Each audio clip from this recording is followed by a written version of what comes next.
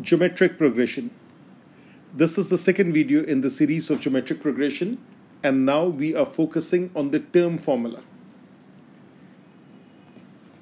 Tn stands for a particular term. In a geometric series, the term formula is a r raised to power of n minus 1. Our Tn is any particular term, a is the first term, R is the multiplication factor, the common ratio. What is the definition of common ratio? It is the second term divided by the first term, and n is the number of terms. For example, if I take the value of n to be 1, and if I plug in the equation, the first term simplifies to simply a. Similarly, when I plug in n is equals to 2, what do you think it would simplify to? It would simplify to ar. Similarly, n is equals to 3. Third term is ar square. n is equals to 4. What do you think T4 would be? T4 would be ar cube and so on. Now, what is the pattern that you are observing over here?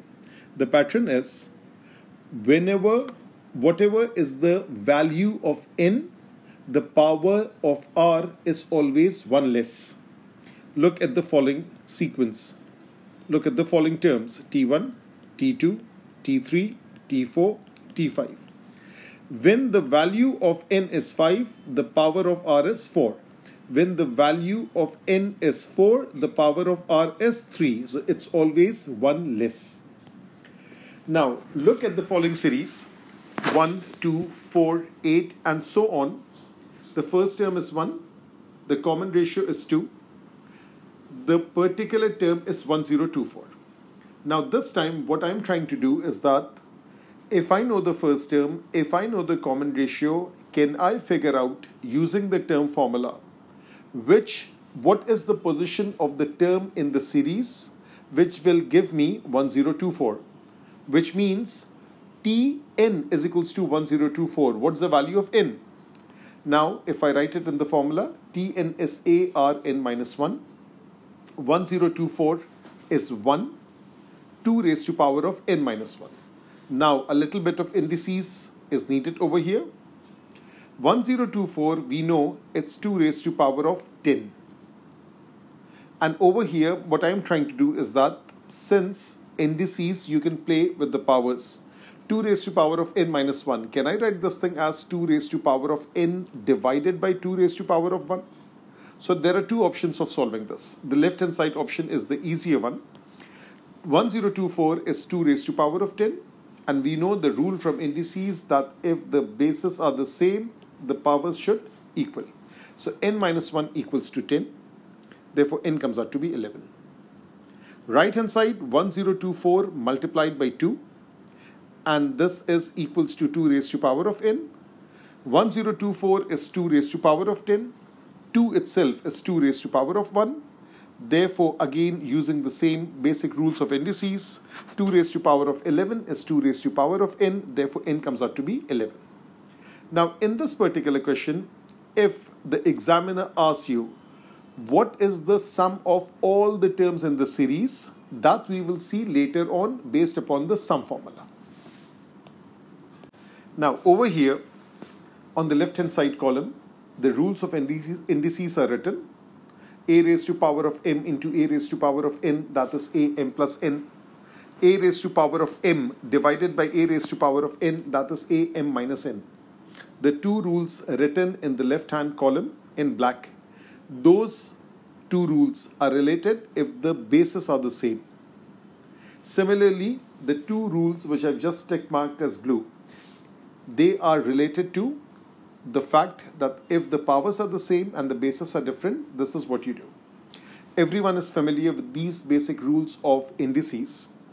And on the right hand column, what I have written is that the common powers that we come across in these geometric progression problems 2 raised to the power of 4 is 16, 2 raised to the power of 8 is 256, and so on 3 cube is 27 multiply 27 by 3 that's 3 raised to power of 4 which is 81 3 raised to power of 5 is 243 and so on there are some powers of 4 some powers of 5 6 cube and some powers of 7 so these comes in handy Now look at this question. The question says find the number of terms in each of the following geometric progression. Now, if I focus on this one in which the first term is 1, the common ratio is minus 2.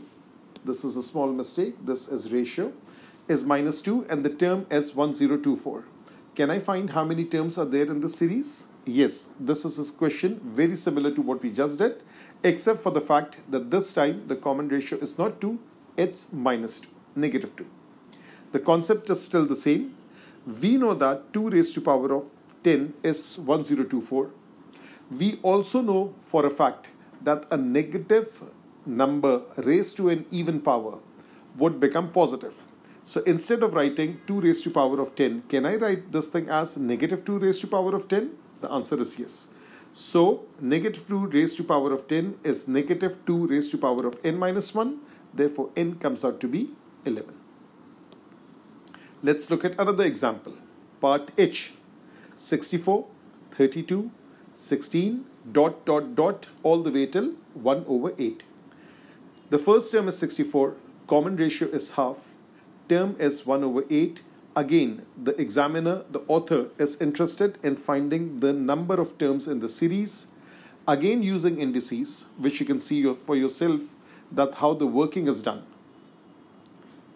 1 over 64 is 64 is taken on the other side. 1 over 8 into 1 over 64 is half raised to power of n minus 1.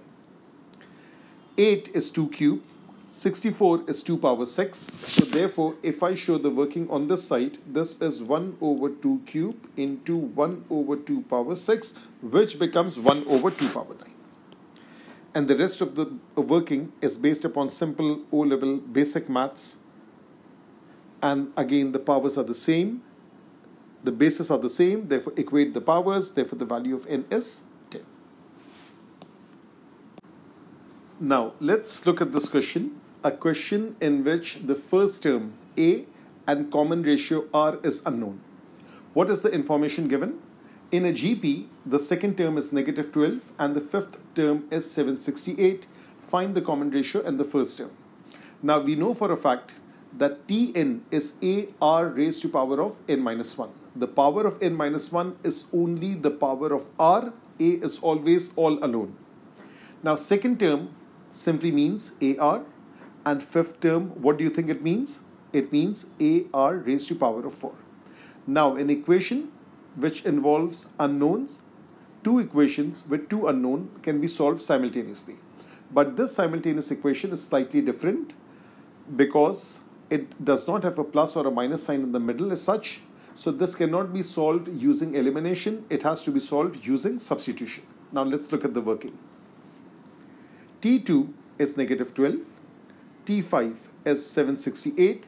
Whatever info is given to you at the beginning, write it in that particular uh, scenario, in that particular type. That if they're talking about term, do not jump into conclusion that the term is this and this. Whatever info is given, first write it as it is, then decide upon the fact that T2 is in fact AR. T5 is AR raised to power of 4.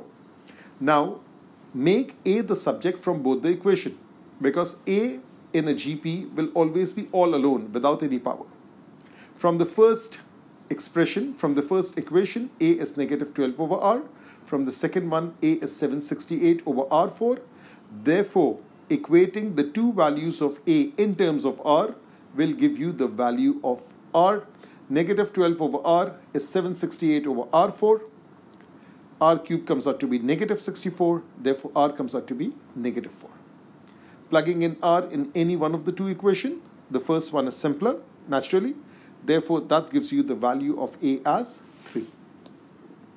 Now, that's all about how we can use the term formula to solve questions in geometric progression related to two unknowns. In our third lecture, we would be focusing on the sum formula and then questions that involve both the term formula and the sum formula.